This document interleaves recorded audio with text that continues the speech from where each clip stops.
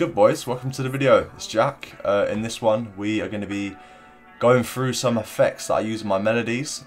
I feel like it's very important for you guys to understand that making a good melody is one thing, but the effects and everything, it's super important. Like you can definitely turn like an average melody into something amazing if you use the right effects. And I'm going to be demonstrating the ones I use uh, in all my melodies and all my beats. So I hope you guys enjoy. Here we are inside FL Studio.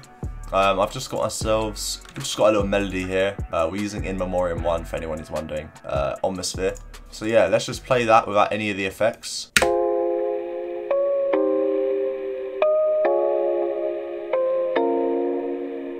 Nice little melody. Well, it is chords, like you could add some melodies to that, but yeah, it's decent. Um, so we're going to be going through the effects that I use, not in any particular order, uh, in terms of like how good they are or in order I would use them. Just you know, just kind of randomly going through them and, and explaining why they're good and why I would recommend you try them for yourself. So the first one is going to be RC20. It's kind of a, a, bit of a bait plugin. Like a lot of people use this and a lot of people know about this, but I still feel like I have to mention it for the people that, well, the producers that might not know. Best thing about this plugin is it has a bunch of presets. So even if you don't know how to use it, uh, if you're going for a certain sound, just look up and you'll probably find it. Um, my favorite way to use this is the vinyl presets. I love the wobble, which basically just does the pitch wobble. Um, the distortion is alright as well. Don't really mess with digital. Space is just like kind of reverb and magnetic is... Not really sure what magnetic is to be fair. Uh, and noise is quite good as well if you like that sort of like crackling, like if you're going for that kind of lo-fi or old sounding, you know what I'm saying, melody, it's a good, it's a good plugin. It's a, it's a go-to uh, industry standard plugin, I'd say. So yeah, I definitely recommend you guys go and check this out. Uh, let's hear what it sounds like when we put it on our melody. So I'm just using the Vinyl 2 preset. So yeah, it sounds like this now.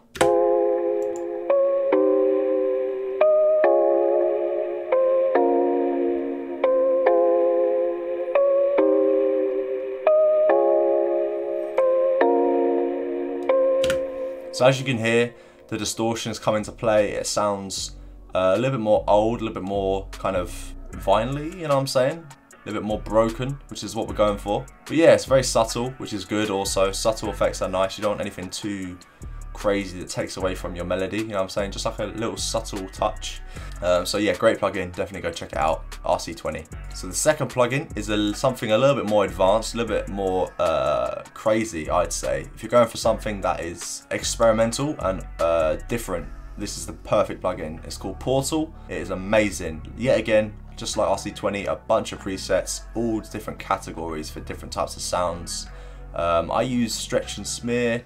I also go into, well, I've used a lot of them really. Vocal, uh, where is it? The vocals one is really good as well. Rhythmic, sound design, you know what I'm saying? It's got everything in here. I've just put on a preset that I really like. I use it quite a lot. Uh, it's called Mangle Smear. Um, something really important about Portal is uh, the dry and wet knob. Uh, the, the, more up by wet, the more of the uh, effect is being used. I usually have it around 20 or 30. Like I said, it's quite strong, the effect. It's quite it's doing a lot so I do like to keep it way down in the dry section just so it's a little bit more subtle but yeah here's what it sounds like with this effect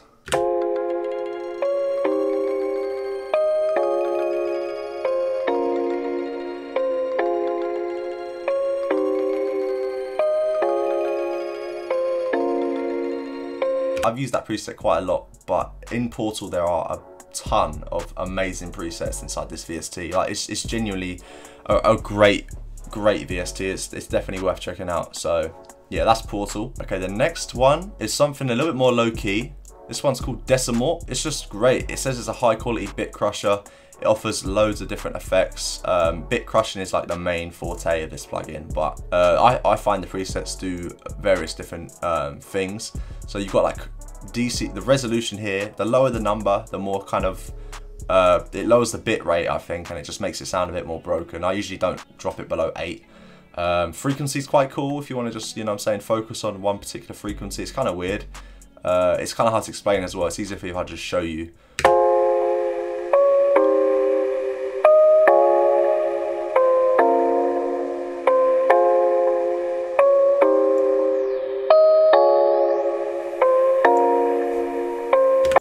Intense, but yeah, great plugin really good. I recommend you guys check that one out. Decimort 2. Second one is just like a little little plugin. I'm saying nothing major. It's just called Little Radiator. Uh, it's just basically a little bit of a distortion preamp type thing. Uh, very simple. It's got heat and it's got a mix dry wet. Uh, I have you I have it used on about half half, just a bit of distortion really. Great for basses.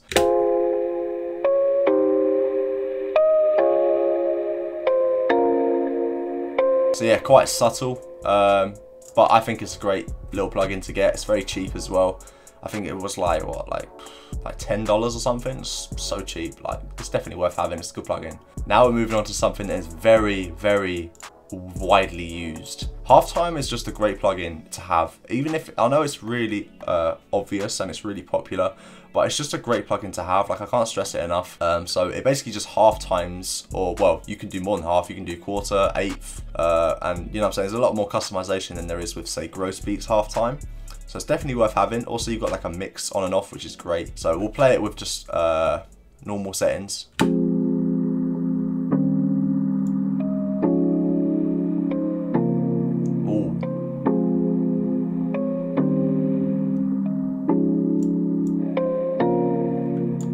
So you can get some really interesting results with this plugin. Um, great, I, have used it for so long now and it's just, it's, it's, another cheap plugin that's just really worth having. So definitely check it out. So this is my personal favorite reverb. It's called Valhalla Vintage Verb. Trying to make your sounds more ambient if you're trying to make something a bit more spacey.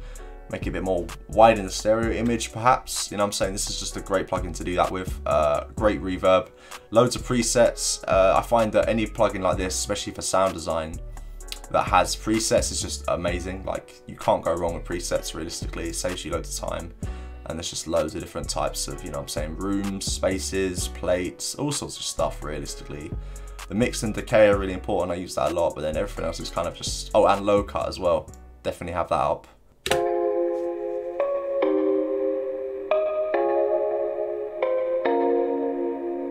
As you can see, it's a lot more ambient now, a lot more spacey, vibey. So yeah, great plugin to have, great reverb. Definitely check it out. Okay, so this is a plugin by Baby Audio. It's called iHeartNY.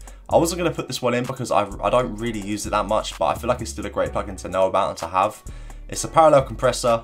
Parallel compression, also known as the New York compression, so hence the name iHeart NY, is a dynamic range compression technique used in sound recording and mixing. Parallel compression, a form of upward compression, is achieved by mixing an unprocessed, dry, or lightly compressed signal with a heavily compressed version of the same signal. Okay, so yeah, parallel meaning it's the same thing, but that you've got a dry version and a heavily compressed version. So that's what it does realistically. I guess that's what the, the spank means. And the output is just like the volume of it. Anyone who's using headphones or good speakers right now can appreciate this.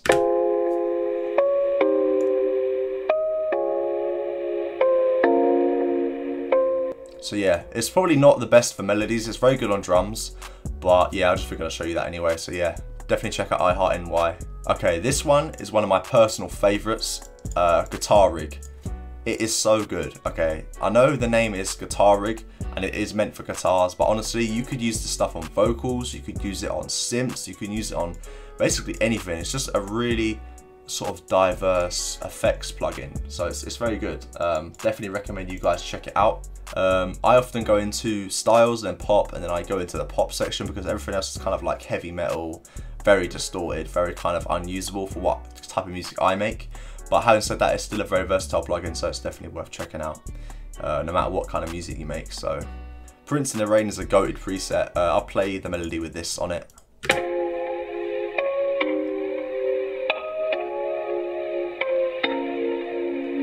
If you guys have like a, a guitar VST or even like an, uh, an actual recorded guitar and you want to make it sound a bit more realistic, a bit better, I would highly recommend you check out Guitar Rig. It is brilliant. Okay, this one is a little bit more rarer than the others. It's called RP Reverse. It's by someone called Rob Papen. Uh, it's basically just a reverse plugin, but you can do a lot more with it. Um, I haven't actually used this too much, um, but it's still a, an interesting plugin you guys should check out. So let's just do a little demonstration.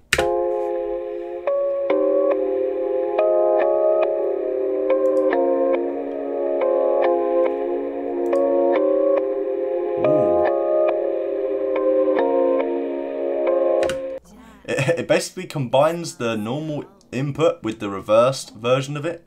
And when you combine it together, it's just really cool. I actually haven't, I haven't actually used this too much. I, I might start using this again. If you like reversing melodies and you use like Gross Beat or whatever else, or you just reverse it inside the playlist or inside your DAW, Uh, I'll, I'll check out RP Reverse for real. Check it out. Okay, last but not least, probably the most important plugin of all of them, EQ. And this is specifically a FabFilter Pro Q3. Um, for this melody, we'll probably just do a bit of a low cut, maybe maybe a little boost around here, something like that, I don't know. Um, but yeah, EQing is so important. This is kind of getting into a bit more of a mixing kind of video now, but yeah, if you if you know how to use an EQ, you can do a lot with a melody. So yeah, if you want a good EQ, FabFilter Pro is the one. Or we'll just play what it sounds like with the EQ enabled now. As you can see the waves here.